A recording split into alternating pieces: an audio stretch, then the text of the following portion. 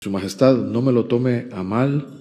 pero nunca esperé estar en una mesa así y tampoco nunca esperé estar cumpliendo un sueño de compartir con integrantes de los Héroes del Silencio, lo cual es para mí también un, un honor, un sueño de adolescencia.